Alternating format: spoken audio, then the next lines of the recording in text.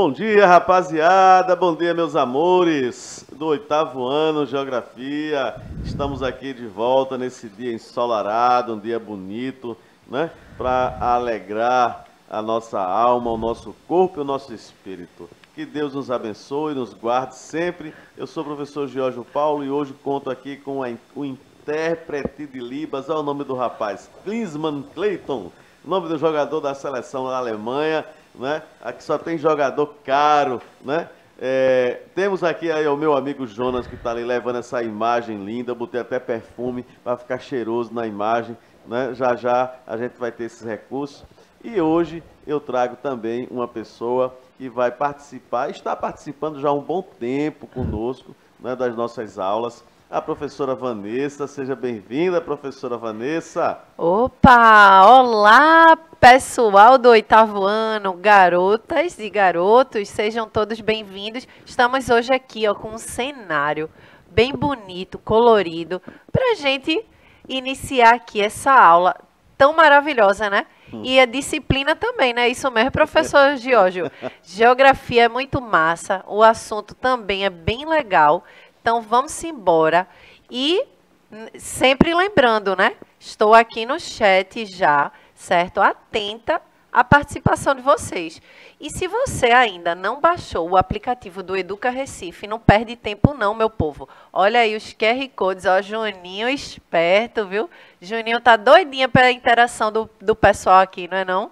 É. Olha aí, você pode direcionar o celular, a câmera do celular, né, do seu celular, para esses QR Codes, baixar o aplicativo do Educa Recife e fazer a sua interação aqui. A sua participação é muito importante.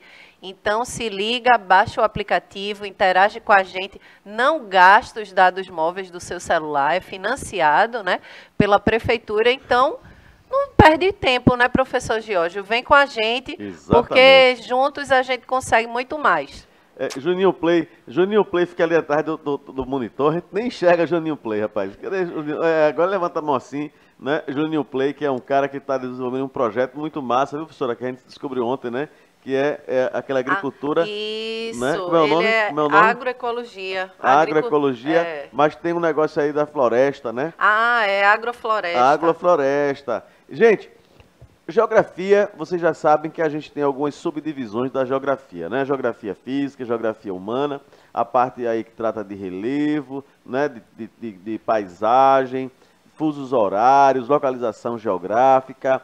Tem uma série de temas da geografia, né? que é parte da geografia física. Geografia humana vai tratar de, de povoação, de cultura, de economia, né? uma série de situações que você se assemelha um pouco, né? passeia junto com a história, com a sociologia, com a filosofia, que são disciplinas afins, né? É, de temas transversais aí da nossa LDB, né? enfim, daquilo que, que move a educação e move os nossos, os nossos conteúdos curriculares. De boa? Então vamos lá, continente americano, nós estamos numa sequência, né? Nós já vimos aí uma parte de física, né? Agora vimos uma parte inicialmente aquela questão da, da, da, da do continente americano, mas da América anglo-saxônica, América latina, né? A gente vai dar uma retomada em alguns pontos desses para continuar com esse assunto sobre economia no continente americano, beleza? Então acompanha aí, ó. Então eu trago aqui de boa, logo de cara, o que? Toca aí em tela cheia, Juninho Play, ou é Jonas? Ó, colonização e ocupação territorial. Olha só, você vê aí, né, é, duas grandes massas, né, onde essas massas estão compostas por os seus países que formam esse. Lembrar vocês que o continente americano, né?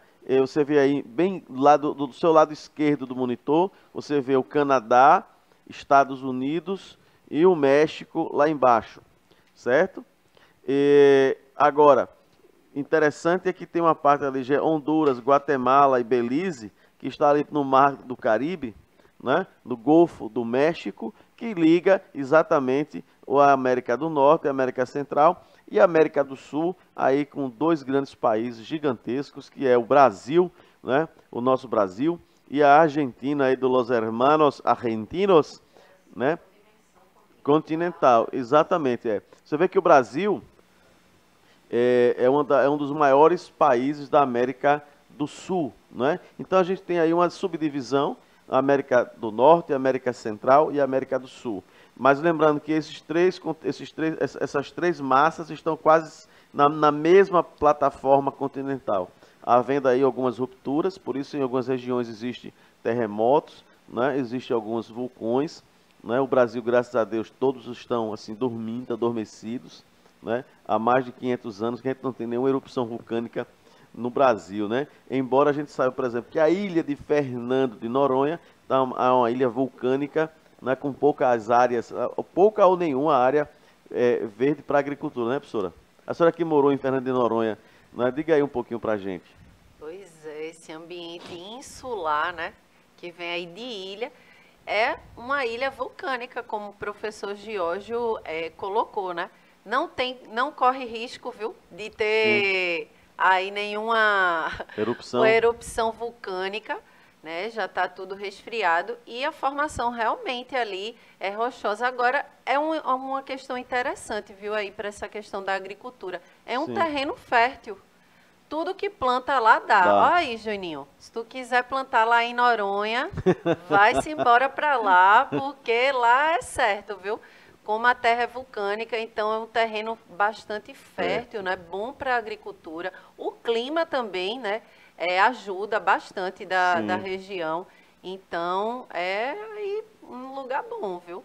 É, a é. pessoa pode estimular lá a agricultura, a agricultura familiar, que dá certo. Mas eu digo uma, é uma agricultura é, um pouco é, em dimensões menores, né? É, em dimensões né? menores. Porque, mas é, recursos hídricos, água, por exemplo, potável, é, é muito difícil, é, né? Mas como é um ambiente né, de, de ilha, né, um pedacinho de terra no meio Sim, do oceano, oceano apesar de existir um sol bastante forte, né? A gente costuma dizer lá, eu que já tive a experiência de morar lá, hum. é que era um sol para cada pessoa. Que ah. é quente. É, parece muito com o clima do Agreste. Do Agreste, né? É bastante quente de manhã e à noite a, a temperatura baixa um pouquinho.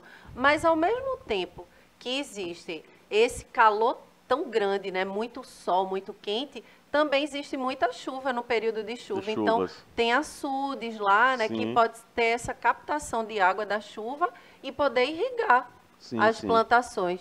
Então, existe até lá alguns agricultores, inclusive, né, no processo de é, moradia mesmo da ilha, né, porque a ilha foi um período só ali presídio, presídio né? é. e tudo mais, mas no processo que começou as pessoas habitando, né, morando ali as construções, o, o processo mesmo de urbanizar né, a, a área.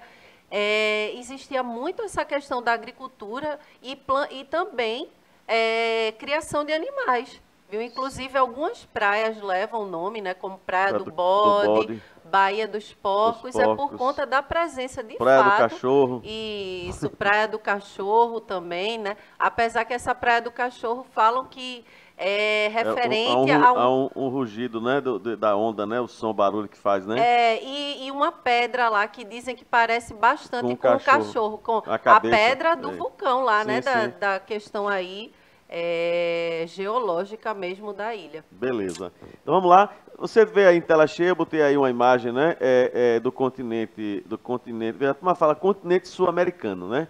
E, aí a gente lembrar que o continente americano, minha gente, é uma, é uma coisa só. Então, quando a turma se divide, não, continente sul-americano, centro-americano, norte-americano, isso é uma questão de, de, de, eugenia. Que molesta é isso? Né? É uma questão de, de, de, de uma ideologia de superioridade racial que está embutido por trás dessa questão. Lembra que, por exemplo, a própria teoria diz assim, a gente vai ver aí no mapa, já já eu vou trazer o Estreito de Bering.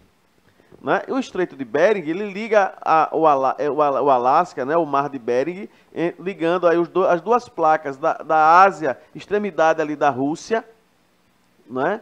China, né, aquela região da, de, de, de, do Estreito de Bering, né, e, o Canadá, e, e, e, onde é o Canadá, que os Estados Unidos comprou essa parte aí, é, do Alasca, né, dos Estados Unidos. Aqui, ó, você vê aqui nesse mapinha que eu trouxe para vocês, olha lá em cima, né, é, Corta aqui para mim, por favor, é, Juninho Play. Vê se dá só para aqui um, um, Aqui, ó. Nessa, nessa essa região aqui, ó. Tá vendo? Tá ligado aqui? você tem o, o Canadá, os Estados Unidos e o México. Olha, enquadramento. Certo? É, enquadramento aqui. Aqui é, é o Vive a Cores, meus amigos. Tá brincando aqui é com o pessoal da TV Nova Nordeste? É show de bola. Então, ó, aqui na América do Norte, é Canadá, Estados Unidos e México. Aí aqui em cima, vê que tem uma bandeira dos Estados Unidos aqui. Por quê? Porque os Estados Unidos, na época da, da guerra né, de, de, independência, de ocupação do território, na, na, famosa marcha para o oeste, ó, aqui está o leste, o oeste, o norte e o sul. Né? Então, a marcha para o oeste, o Far West. Né? Então, ó, chegou para cá, comprou esse território aqui da Rússia, aí por volta de 1800, 1850, nesse período aí. Como também essa região aqui que pertencia muitos já à América Espanhola, e o México, o Texas, o estado do Novo México, né? que é uma característica da cultura espanhola, e os Estados Unidos abocanhou. Então, existe uma teoria de que o homem americano ele veio do Estreito de Bering, da Ásia, passou e povoou essa região e daqui desceu. Isso é uma, uma das teorias da origem do homem americano. Tem a Malaio-Polinésia, tem a australiana, e tem também alguém que defende do autoctonismo, né? que como Deus, quando Deus fez o mundo, né, ele fez assim, ó, a história de Adão e Eva é um mito, né? Ele salpicou assim, vrup, salpicou. Então caiu meio mundo de gente, cada um no, no, numa parte da terra, né, no lugar. E aí, é mais uma ideia, mas essa minha aí, eu sou meio doido. Mas corta para cá. Então vamos lá. Eu adiantei aqui, vou passar para cá de novo eu trago aqui a questão da população, ó, em 953,6 milhões de pessoas. Isso, em 2012. O continente americano é o terceiro mais habitado. Ó, o continente americano é o terceiro mais habitado depois da Ásia e África. É e aí, meu povo bonito, da minha cidade, do meu Recife, do meu estado de Pernambuco, que assiste pelas ondas da TV Nova Nordeste. Né? Preste atenção. É, não brinque não, que eu fico falando assim, quer poder é, animar. Ó, América eu já sei quem são. Né? Ásia. Ásia, veja, a, a, a gente diz que é continente europeu e a Ásia é uma questão cultural, porque ali é uma Eurásia. É uma plataforma só. Mas até os montes Urais, na Rússia, a parte oeste é a Europa né, ocidental e a Europa oriental com a Rússia e vai até ó, China, Japão, é, o que a gente chama de é, Ásia. E a África, que é um continente gigantesco, né? Tá certo? É maior do que o da América do Sul, ó, se você prestar atenção no mapa. Beleza? Mais adiante, eu trago o seguinte. Tela cheia, Juninho Play. Ó, olha aquele mapa ali, aquele mapazinho preto ali, ele dá, ele dá uma, uma, uma, piscada assim. Um le... É, professor, a gente está aprendendo. Olha só, os primeiros povos a ocupar o continente americano chegaram a esse continente há mais de 15 mil anos. Estudos estimam que eles eram grupos advindos, olha só, da Ásia, através da passagem do Estreito de Bering que nesses tempos encontrava-se congelando ou congelado já, não é possibilitando a migração por terra. Quer dizer isso? Corta para mim. Ó, o Estreito de Bering, a região lá em cima no extremo norte, é gelo, meu povo, é gelo, frio. É negócio de menos 50 graus, né? É negócio de você dar uma cuspida assim, ó, puf, cuspir, quando já sai já a pedra de gelo caindo no chão. É, meu filho, é frio. Eu, é, eu só de pensar já estou morrendo de frio. Imagine o cara que mora lá, né, no, no Alasca. Então, é, o que, que acontece? A gente tem, o, por exemplo, os índios, os primitivos habitantes das Américas, que são os índios, né? É, tanto lá nos Estados Unidos, Canadá, os iroqueses, os comanches, cheyennes, né? os, os moicanos, né? É, esses índios também se parecem com os nossos habitantes indígenas brasileiros né? É, meio asiático, o zoinho puxado, a cabeça redondinha, cara de bolachão. Não tem muito cara de bolachão porque é cara redonda, viu? Cara de lua. É, não tem muito pelo, pelo só aqui, ó, na cabeça. Né? O resto do teu corpo no sovaco mesmo não tem. Né? É, o que foi, Juninho Play? Né? Não tem, mas veja, tem pouco pelo. Veja os índios nossos aqui do, do, do, do Xingu, do Amazonas. Observe, só tem cabelo na cabeça, professor. É. Né? Isso é uma característica asiática. Então, o que, é que quer dizer? É, por exemplo, uma criança que tem síndrome de Down, veja se não parece com, com os, é, o pessoal ali do, do, da Mongólia. Né? Da Mongólia, que é a Ásia, né? pertence à China também um, um período de tempo, participou, mas por isso que é, é, também tem o nome de mongolismo, porque as feições, as características, ela é parecida com o pessoal da Mongólia. E Down, aí é a questão do, do, médico que descobriu, né? A questão do cromossomo e tal, aí é biologia, não é comigo não. Mas enfim. Aula de ciência. É, aula de ciência aí com tia Carol, né? Tia Carol, ciências.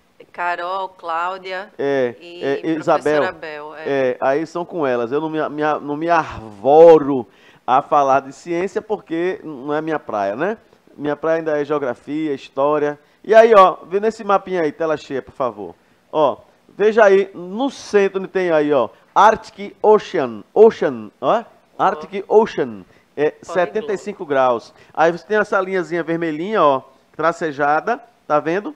No mapa, no meio tem a parte verde e a parte amarelinha. A parte verde, meu povo, é a parte da, ó, da, é da Mongólia, né? Kalima, naquela região ali da, da, da, do extremo do extremo oriente, certo?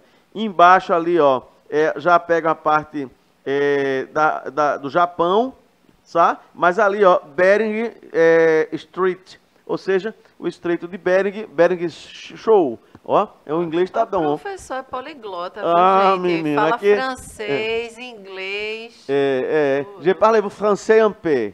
É, parlo, parlo bien italiano. É, anche noi andiamo a parlare português, sim? É melhor. Então, ó, volta de novo para a tela. É, olha, então você tem os Estados Unidos, ó, United States, Alaska. Aí do lado, rosinha aí, ó, é Yukon Territory. Então, o território do rio Yukon, né, ele parte tanto para os Estados Unidos quanto para o Canadá. Ali a Colômbia Britânica, ali, ó, The British Columbia, e o Gulf of Alaska, Alaska, é, onde tem o bacalhau. Muito bem. Já comeu bacalhau hoje, professora? Bacalhau, no tempo que a gente comia bacalhau, era, tá, tá passando fome, né? Tá comendo rato, né? Era bacalhau. Isso em 1914. Né? Mas aí você entende, entende muito bem essa questão que eu estou dizendo aí, ó. Então, veja que é bem pertinho a questão do Estreito de Bering. Passa para frente. Deixa a tela cheia de novo aí, ó.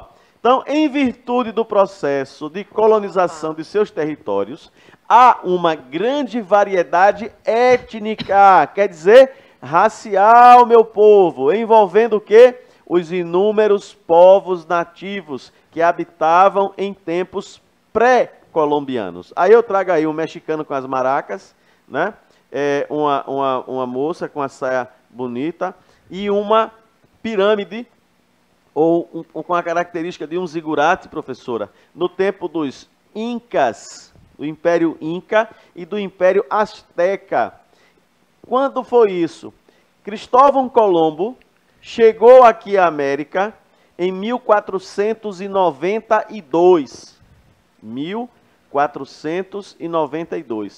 Quando ele chega nas ilhas ali do Caribe, né? Ilhas Guananahane, hoje São Tomé e Príncipe, e eu me lembro como se fosse hoje, foram três navios, Santa Maria, Pita e Ninha. até Cristóvão, não e foi? Ninha. É, Você conheceu até Cristóvão, não foi? Conheci, ele é meu padrinho. Eu vi no Santa Maria. Tem Santa Maria, Pita e Ninha. Então a Nau Capitânia, olha não bonito, eu acho bonito. Nau Capitânia era. E ele até registrou, viu, que tinha territórios pro lado de cá, onde é o Cristóvão, Brasil. É, na, na verdade é o seguinte, é, Cristóvão Colombo em 1400, e aí eu queria aproveitar, meu povo, sabe, para esclarecer uma história é, mal, contada, Mal contada. mal contada, certo? Primeiro dizer a vocês que o Brasil não foi descoberto e nem a América foi descoberta, né? Por exemplo, Vanessinha que mora em Goiânia sabe que lá em Ponta de Pedra já existiam os índios lá, próximo à povoação de São Lourenço hoje, né, Vanessa? Um abraço para você, viu, meu? Tá visitando aqui, visitando os nossos estúdios aqui, e ainda que a gente mata o povo de vergonha, meu povo, é. Né? Mas veja, então 1492, Colombo chega na América Central. Em 1493, os reis de Portugal e Espanha resolvem fazer um acordo e dividir as terras achadas por Cristóvão Colombo num documento chamado Bula Intercetera, que determinava que as ilhas da Madeira, Cabo Verde e Açores, que já eram de Portugal, 100 léguas dividia-se um território meridiano, as terras a leste para Portugal e a oeste para a Espanha. Aí Portugal, o rei de Portugal faz, ora, pois, pois, não quero concordar com os tratados. Ora, por quê? Porque as terras que estão a leste pertencem ao reino de Portugal. Né? Então, o rei de Portugal disse que não queria, porque as terras a leste já pertenciam a Portugal. E o resto era mar. E sabia que, pelas descrições feitas por Colombo, as terras encontradas que ficavam a oeste eram muito maiores e que ainda se pensava ser a costa das Índias Orientais. Por isso chamou os primitivos habitantes de índios. Aí veio um outro acordo, um ano mais tarde, 1494, o chamado Tratado de Tordesilhas, que é o que mais a gente encontra nos livros de história. Quase não se tem, com raríssimas exceções, dois autores, Jobson de Arruda e, e, e Mário Schmidt, coloca aí a bula interceta um ano já de 493. 494, Tratado de Tordesilhas. Aí uma pergunta, como é que Portugal só vai chegar no Brasil descobriu o Brasil em 1500, se já em 1493, 94 reclamava a questão do território. Então já começa aí um, um, uma situação. Uma outra situação. Em janeiro de 1500, um navegador espanhol chamado Vicente Yanes Pinzon, que era sobrinho de Pinzon que veio com Colombo, que os três navios é, pertenciam a Colombo, na verdade, a, a Pinzon, né, mas é esse aí, Vicente Yanes Pinzon, em 1500, ele chega no Cabo de Santo Agostinho, certo? Mas ele errou a rota. Diz a história, né? É, não, a história diz, a história diz que uma outra cidade, que é o título de que o, o, o Brasil foi descoberto em, em, janeiro de 1500 e não em, em abril, lá Sim. no outro, em, em Porto Seguro da Bahia, certo? Mas na verdade, o Pinzon sabia que chegou em território português, sabia que eram as terras portuguesas, tratou de abastecer o navio com água e alguma coisa que encontrasse, zarpou, subiu e voltou para a América Central. E Cabral vai chegar em, mil, em, jane, em, em abril de, 21 de abril de 1500 e tomar posse, porque até então o tratado estava só no papel, no documento. Ah, é. A França, ela diz, ó, por exemplo, Adão e Eva deixou o testamento, foi de que as terras do mundo só pertencem a Portugal e Espanha, porque eram os países católicos. E tem essa versão, né, que ele queria chegar nas Índias e errou, nas Índias, é, e é, errou porque, o caminho, mas é meio É porque a, é, a, América, a América não era conhecida. Então, Se a gente pegar um mapa, um mapa de um mapa que tem nessa data, dessa época aí, é, não existia no mapa a América, só existia a Europa, África e o Oriente. Certo? Só, só se navegava, minha gente, até 370 léguas, até onde o olho via o continente. Por isso se chamava navegação de cabotagem, professora. Não é? Porque uma pensava que depois dali a, a, a, a, terra se acabava e você ia cair na, antes de chegar naquele. Em, em, como é aquela terra de Thor? Esqueci. Ajuda aí, meu povo. Tu aí que está no final da sala, qual é o nome do, do Thor? Sabe não? É, eu tenho o, Valhalla, Valhalla é o paraíso, é quando o guerreiro morria em combate, ele ia para o Valhalla, mas Asgard, Asgard, aí tem ó, é, a estrada do arco-íris, né? Tem Raidal, que abre o portal e pá. Então isso é história, né? Isso é história. Mas vamos para frente, senão a gente termina falando besteira aqui, emendando coisa. Mas eu quero dizer a vocês que essa questão é, é, é, é besteira, é balela. Né? O que é fato é, os portugueses ocuparam aqui em 1500. Os franceses não respeitaram o tratado, vieram e fundaram duas colônias aqui, no Rio de Janeiro, a primeira, França Antártica, com Villers-Gaillon. Foram expulsos e em 1537 foram para Salvador, funda, é, São Luís, fundaram na ilha onde é a capital, né? São Luís do Maranhão, em homenagem ao rei Luís XIV da França. Uhum. Né? Tanto que quando Eu você for, uma curiosidade, quando você for a São Luís do Maranhão, entre naquela catedral, a parte histórica, você vai ver a arquitetura francesa e as inscrições da catedral toda é em espanhol. Por quê? Porque foi feita durante um período da União Ibérica e os padres jesuítas que vieram da Espanha para lá, professora. E depois ficaram o, o, na, na, na, Guiana Francesa, né, com o acordo que fizeram. Mas aí, grupos ó, identitários, vem de identidade, né? né? Então, europeus, e as várias etnias africanas advindas por meio do processo de escravidão colonial. Quer dizer isso? Eu trago aí de novo aí nessa tela cheia o mapa do Canadá, Estados Unidos e México. O Canadá foi fundado inicialmente por um italiano é, navegando pela Inglaterra, é, John Cabot, mas o nome dele é Giovanni Caboto. Chegou e, e fundou ali é, Quebec, no Canadá. Né? E... Depois os, os espanhóis, os franceses chegaram, com, com, acho que também com Villé Gaillon, que foi expulso aqui, foi para lá. E o Canadá hoje, ele tem o, o Canadá francês e a parte inglesa. Fala-se os dois idiomas. Os Estados Unidos, as 13 colônias inglesas da América do Norte. E aí vieram os, os primitivos habitantes e para trabalhar na mão de obra, os escravizados africanos, assim como Sim. foi na América Central e no Brasil, né, a questão da escravidão negra. Foi bastante difundida a questão da agricultura, né? Aqui a gente conhece ah, mesmo a cara. questão da cana-de-açúcar aí, o quanto foi explorada essa mão de obra, né? Primeiramente, Sim. a exploração ali do pau-brasil, no, no, território aqui brasileiro, né? E com a mão de obra dos indígenas, dos povos originários, melhor dizendo, né? Que aqui habitavam. Uhum. E em seguida, o açúcar, né? Que era um produto ali lucrativo, e que eles utilizaram aí para exportação e explorar, né? Então foi bastante difundida essa questão da agricultura, né, professor Giorgio? Exatamente. Então a agricultura era, era latifundiária, monocultura de exportação, né? Com mão de obra escrava, o, o, famoso plantation. Então, ó, é, só para a gente fechando aí. Então, na verdade, o principal fator que divide essas duas Américas, bota a tela cheia, por favor, Jonas. É, ó, então, principal, o principal fator que divide essas duas Américas é o econômico, beleza?